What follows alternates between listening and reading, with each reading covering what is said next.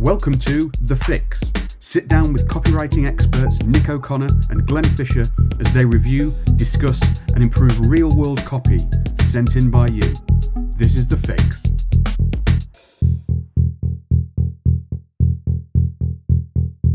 Hello, it's Glenn here, um, by myself today in the office. Um, we'll be joined by Nick in a moment, don't worry, um, but this is a special episode uh, of The Fix um, where not only we got Nick with us, we have also got Gyles Lingwood and Andrew Boulton. Now, this, uh, we basically give the context. Um, it was December of last year, um, 2022, so it's 2023 now, January, uh, I'm recording this. Uh, we went to the University of Lincoln. Um, as you know, we're getting about the country. We're going to all different places, interviewing all different experts for our Fix Accelerator network group and we met up with some Fix Accelerate members in Lincoln and we also met up with Andrew and Gyles. Now, Andrew and Gyles both, uh, as well as being authors, both um, authored very good copywriting books. Uh, copywriting is uh, by Andrew Boulton and uh, Read Me and more recently uh, Copywriting, uh, a re kind of edit, an update of Mark Shaw's famous book by Gyles. Um, as well as being authors, they also teach, they're lecturers um, on the creative advertising course at Lincoln Uni, um, which was fascinating to talk to both of them. We, we filmed two um, hour long episodes, one with Andrew and one with Gyles. If you want to see them, um, that's for uh, Fix Accelerator members. Um, I'll put a link uh, below this video or you can find it, you can comment or wherever you're seeing this uh, and I can share a link with you. Uh, but they're fascinating videos. But what we did, we got both of them um, at the end of those sessions. Uh, we sat down and we spoke to them about getting feedback about your copy. That's partly, mainly what we do at The Fix here is uh, review your copy. And we wanted to get um, Andrew and Gyles' thoughts on how you actually uh, go about doing that with a group of uh, creative writing, creative advertising students. Um, so that's the episode. We're going to jump there uh, in a moment. Uh, I hope you enjoy it. If you want to see, and I do recommend you um, watch them because they're fascinating interviews. Full hour with Andrew and full hour with Gyles. Um, join the Fix Accelerator. Uh, it's £10 a month. Uh, there's a link, as I say, somewhere around here, as well as Gyles and Andrew. We've got a whole host of other fantastic uh, guests, including John Ford, Vicky Ross, Annabelle Ford, uh, Kim Krause Schwarm, um, who else have we had? Andrew Natton, uh, Dave Harland, uh, Sophie Cross, Giles Edwards, um, James Cross uh, from Meanwhile. Um, we've had so many, Jess um, McIntyre and Natalie Moore, Steve Price. We've had got loads of videos there. They're all in the Patreon. If you join £10 a month, you get access to it and you get access to all of them. We've got new ones coming out all the time. Uh, we are in London again soon. Um, so hope to see you there. Loads of stuff. Just get involved. Uh, but in the meantime, I hope you enjoy this episode of Fix. I'll see you soon. I'm just going to dive straight in, okay? To what? To the. Oh, right, yeah, that, that's fine. Right, guys, we spent most of our time together today talking about how you train people to think differently, be creative, all of those sorts of things. But uh, it strikes me that one of the biggest um, pain points that new copywriters and working copywriters and other people in the industry have is getting good, useful feedback. Okay, so lots of people, it's a very solitary profession if they're freelancing or you know, jobbing or getting started. The only feedback they might get is from the client themselves, yes. and, and, and, and clients aren't necessarily the best people to give creative feedback on the work. That's why they're employing a copywriter to begin with. They can give useful feedback, but not necessarily feedback that might move your career forward. So when you're approaching that challenge with your students, how do you structure your copy reviews? Is there anything that you, any rules you, you, you, you place on them, any do's and don'ts? You know, how do you get them to review each other's work? Because that's a really, really crucial skill. Okay. Um, I, I think it's something we maybe chatted about off camera earlier this morning, and this instinct that you will have as a not even just a young creative, but a young person, when you're asked to comment on your, your friend or your peer's thing that they have done and created, that a, a kind of social niceties come into play, and you don't want to offend them, you don't upset them, which I suppose is a, is a positive thing that you have that kind of empathy in there. Yeah. Um, but you end up saying, I like it, it's nice, or it's good, and you don't give anything sort of valuable away. There's certainly no attempt to offer a critique. You're basically giving very, very polite or very, very useless praise. Is that fair? I think. I mean, that's something we sort of see not just at the beginning of the first year. This is probably the thing it's hardest to crack over those three years. Even now, in the third years, when you have sessions, you sometimes have to drag that critique out. So I think there's that Dave Trott thing that says, you know, uh, the word like is irrelevant. It's, it's a bad and useless word in this scenario. You are no longer um, students or, or even sort of, you know, people first. You are advertising professionals. So what you like is a complete irrelevance. It's about is it effective? And we are training them to, to kind of look at it in this different way, where it's not at all about my personal feelings, even about my personal creative feelings. It's about I have got an intimate knowledge of brief in the same way that you have. So I'm going to critique based on my understanding of what that brief has asked us to do. I guess this comes from. It's, it's not. It's not really useful to know, but it's kind of. It's, it's useful to understand that most people they think they're going to get retaliated against. If I say anything but positive Yeah, feedback, then that student's going to. When I put my thing forward, I, they're going to go. Well, I'm going to come back even if it's even if it is good. They're going to say something bad. But what I assume, like, do you have to work on creating that environment of safety where it's like, look, this is what you, you're allowed to. We're not Yeah. it's not personal. We're looking at the work. How, how do you kind of how how do you go about creating that world? So, um, just just to build on that very quickly, I think many many years ago in, in the creative advertising studio here at, at Lincoln, we had a big sign that said "Seek criticism, not praise," and I think that's that's a really nice mindset for our students to have. That again, through their education, through their education before coming to university, it was, "Can you tell me how good it is, please?" Um, whereas if you reframe that question or, re, or, or ask a different question of how can I make this better, then actually you can work on a, a, a positive quality building exercise rather than just let just tell me if you like it or not. I think for, for me, I've, I've got I've got two techniques that I use to try and draw out feedback. I think or, or, or draw out useful feedback. I think the first thing I always do is I try not to let students read copy. I, I, would rather they speak it out loud. Because I think reading copy is, a, again, quite a solitary experience. Um, it requires a particular mindset and, a, attention, uh, a, particular sort of a, a way of, of, of being in your own mind when you're reading. I think if you can read it out loud, more often than not, that can help you criticise your own work. You know, so that, that age-old technique of read your own work out loud is often useful when working with students to read their, so they read their work to their peers.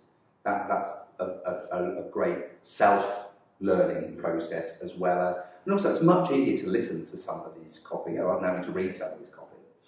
And then I think, um, and you'll know this technique that we've, we've used a number of times, which is, is, is actually be more specific in what you're asking. When you're, when you're asking for feedback, don't say, so what do you think of it? You have to almost break down feedback or criticism into little subsets. So, does it communicate? Do you find it interesting? Have you heard anything like it before? So, don't just say, what do you think? Be more specific. Um, and if you can say, did that capture your attention? Is a much more useful question of, what do you think? Or does it, um, do you know what it's, you know, is it communicating what you think it's communicating? Or, or what are they saying to you? So it, it's not to say, I want to read you something, can you give me some feedback? That's, that's a, a vanilla question. It's not going to get any useful feedback. The most useful thing to ask is a specific question in which to consider the copy. I think being specific. Well, actually, I'll tell you what our uh, process was just, just briefly because it might be useful to people watching. But we had a, like I said, the process worked like this: uh, the copy would be read aloud by the writer. That is the only thing they were allowed to say in the whole review. Couldn't talk Yes. after that. Can't can't butt in and say, Yeah. "Oh, I thought this," because there's nothing more annoying than a copywriter that wants to explain your own work because you already had that chance in the work, so that's the only chance you get. Uh, so it's read aloud. You go around the room and score it on a score of 0, 1, 2, 3, or 4. Right. Uh, zero being I would not read on, I would not Yeah, respond. Four being I wouldn't change a single word. Uh, the reason that that was done was to remove language from it, from Okay. the um, from the arena, Mm. just a number, Okay. nothing else. The next, w- I'm not saying this is perfect by the way. I'm just offering it. Yeah, but also if it if it was if I just went zero zero zero, wouldn't even Yeah, You stop the review you then. just Yes. back to The end of the meeting. Yeah. everybody, everybody out. Yeah, I just wouldn't read on. You don't need to offer anymore. So there was numbers instead of words. The next phase was a round of what ifs. So every sentence had to begin with the word what if. What if you changed X to Y? And the way that would work was you would offer it. Ideally, it would be changed on the screen in front of you, and then you would then go around the room and say stronger or weaker, stronger or weaker, Or, stronger or indifferent as Yeah. well, which is Yeah, yeah. and then, and then, then at the end, you would then break down into a slightly more. uh, Yes. But there were there were strengths and weaknesses of that approach. Well, there were. I mean, it, it, it could degenerate into complete pointlessness, Yeah. where everybody says two point five, and then No, it was two point seven was always Yeah. the uh, it always averaged at two point seven, which was enough to kind of talk about it, but not really. nobody would ever give a four or a zero or a one. Was what we found over time. So it became pointless. It was like, is it a two or a three or something? Yeah. But as a process, it was useful. The only caveat that we found over time was it did not work with inexperienced people. It only worked if you had a good group of experienced Okay. writers or Yeah. marketers who'd, who'd, who'd been around the industry long enough for their feedback to be valuable. Otherwise, you've got this very anodyne. People actually go out their way to not take a risk in a review. Yeah, so they yeah. don't want to put their head above the parapet and say it's a zero, for instance, Mm. Yes. because that's a, that's a real shot across the bow. Yeah. So it wasn't perfect, but the, uh, of all of those things, the what if and stronger and weaker element were the things that I've incorporated in- into the way that I would give feedback, because that's effectively what we do. What if you changed it to this? At least you have something to vote against. Yes. Yeah, I, I was I was There's going no question. Sorry. No, You no, no. question. It, it, uh, that's how conversations work. Uh, they come back and forth. And, I just thought it was useful. No, because there, there are ways of structuring feedback that are useful, and then there are ways that are a complete mess. Of course. and are horrible to be part of. And actually, you are, you know, you can really scar people against seeking feedback. Do. I'll, I'll tell you what I, I think would, would happen if we implemented the, the scoring system with students early on. I think you would get an influx of fours. Really, Four would be their substitute for I like it, it's nice, you're my friend, I don't want to say. or three point five. And then as they would start to get used to it, we'd end up with what you just said, you've been around with twos and threes. Because I think in the same way that as a copywriter you go into this thing and you feel like, I don't want to shoot for a four and end up with a zero, I'll play it safe. I think, you know, you're judged on your feedback in the same way that you're judged on your work. So sitting in a room, certainly with our students, you can very quickly go, I want to be the one to score it four if everyone else gives this a zero or one. I'll stick in two or three because that feels like safe territory. And it feels like I don't particularly have to defend my decision with that. Um, we talked about the what if thing earlier, and I feel like that is a really, really useful thing for our students where we're forcing you to make a contribution.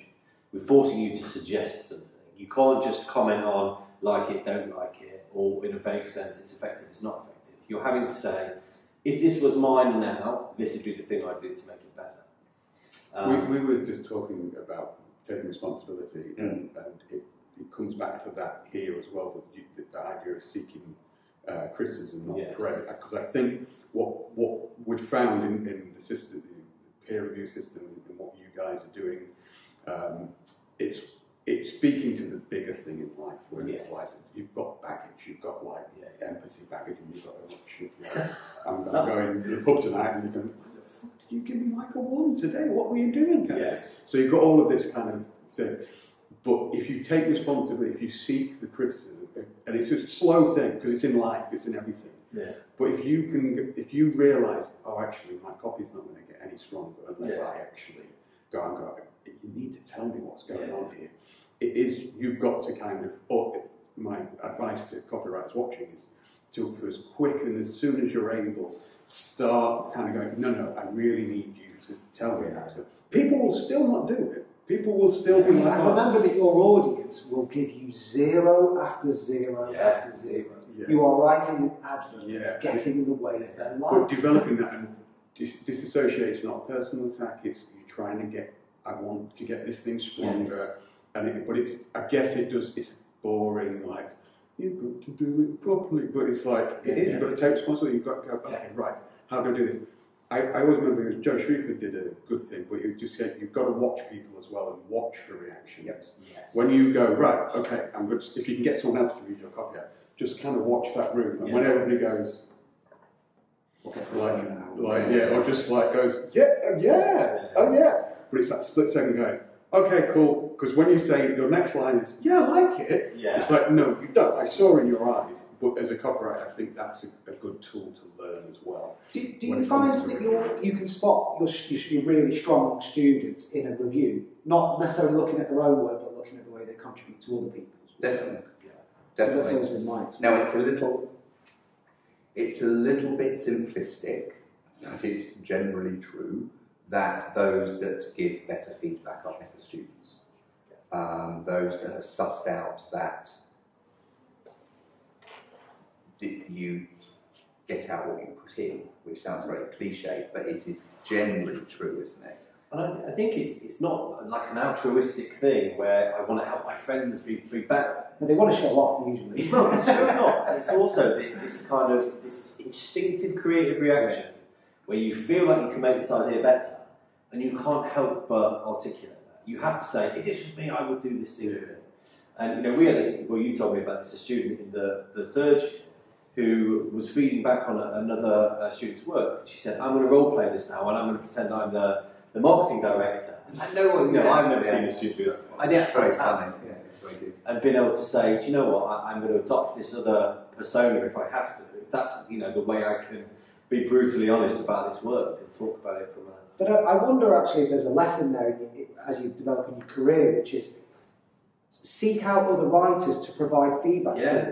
Be a part of a group because when you're learning, you may actually find it easier to be creative about other people's work and take those risks Yeah. and say, why don't you do it like this? Taking the knowledge you don't have to do it. yeah, But actually, it's very easy as a writer, if especially if people are in this sort of environment where they're surrounded by people, to be on your own yeah, and never really, maybe you might get a bit of feedback on your own work, but you're not really offering any feedback on anybody else because you don't know anybody. yeah, Seek out those people Yeah. and, and say, well, let's swap work every week. You know, it might be somebody you've never met, you've only ever met them online, Yeah, you know, LinkedIn commenter or whatever. You think, oh, should we start a little group? I think things like that are a great way of accelerating. yeah, Because great. your ability to give feedback is, is directly. I'm, I'm developing a thought recently about your Just one thought, Just a one solitary thought. It's, I've got a little petri dish at home, and I put it in there, and I've added some soy sauce and some mayonnaise to it. And I'm That was a developing- really yeah. fuzzy thought. Yeah, um, but I, the idea that your best idea might be in someone else, Yes. and Yeah. that the, the reflection of that, like you, you can't have that idea yourself, Yeah, yeah. Andrew. But if I show you a thing and you go, "Oh God, this this reminded me of this," and I go, "Shit, that's what I needed to complete my idea," kind of thing. It's like somebody else picks the, the, the baton up, runs along with it a bit, and then you grab it back off and say, oh no, yeah, That's, yeah, and yeah, it's still my idea. Yeah. it will Yeah. still be my fruition. I will still develop it in the petri dish and still like maintain that. But I needed that little reflection. We are all reflections of each other and all Yes. that kind of stuff. But that, for me, I think that's big. But it's all the same parcel of creating an area of people that you can trust, get on with. But I do like the, the when you spoke, you spoke about responsibility. Is you've got to do it. But that's also, I think, just to bring it back to you know teaching it and, and, and doing it on a course. That's why a three-year degree course is so valuable. Yeah. Um, to work not only on, on creative subjects, but in particular writing and, and communication and advertising. Because if you're just doing, say, a, a, a one or two month course, or even a, or even just a one year course, that that trusting relationships that you have with your peers takes quite a long time to, to develop. And if you can get to a stage by the third year when um, students are willing to support each other, or they're willing to say, or they're, they're up for saying, Can I just tell you my idea? Because we all know that when you're describing an idea to someone, there's something going on which is helping you. There's sort of this uh, this rapid sedimentation going on when, you, when you're talking to someone through an idea, about an idea. You say, what I'm trying to do is this. I don't want to hear you. I've just sussed it out just by talking it out, Yeah. just, by, just by speaking out loud. But if you can, if you can work with a, a good number of student colleagues, so students working with their peers, to feed back to each other, that's worth the tuition fee. It's just that is so valuable Well, I to think we're- develop those skills. To try and summarise what I'm saying, the answer to your own creative problem may well be to go and give feedback to other people Yeah, about their absolutely. work. That's very counterintuitive and is completely opposite to the way people outside of this environment would approach things. But it can really, it, it can really accelerate things because you just don't know what will come out of your reflection of somebody else's work.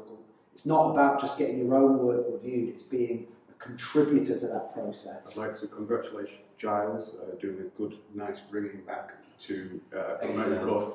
A silver medal to Nick, who managed to say it will accelerate your career, uh, bring you back to Fix Accelerator. These are good My- things. my- Do Get the books bring on- the get books books on on screen? Not that far. Let's- but yeah, I just, I'd love to see it. I love when it becomes the Graham Norton show. I feel like it's that's when we'll have achieved. I love talking about feedback. Honest feedback. honest Oh, this feedback. Right, shall we wrap things up No, now? I'm just going to do that. This is episode episode five we've recorded today, and I think it's time we all Technically, yeah. had Um, to eat. yeah, and we've, Super. we've got to work with the students, uh, so Yeah. and you're going to be knackered from going up that hill. Yep. You might make it down the hill. Yeah, hold him down. I'm you going to very need to find much. a Kate Bush song as well to play while you're running up the hill. I tried to wrap up once. it's it still on feedback. film with that? That is still on film. I, I'm actually now thinking that there's another going to be a special episode of you just running up the hill with the Kate Bush music. We're probably not allowed that on YouTube, but I will record it privately and share it. Cool. Thanks very much. That's all for this episode, but if you'd like to get your copy reviewed or you've seen some copy you want Nick and Glenn's opinion on, get in touch at feedback at thefixcopywriting.com. Thanks for watching and don't forget to like and share.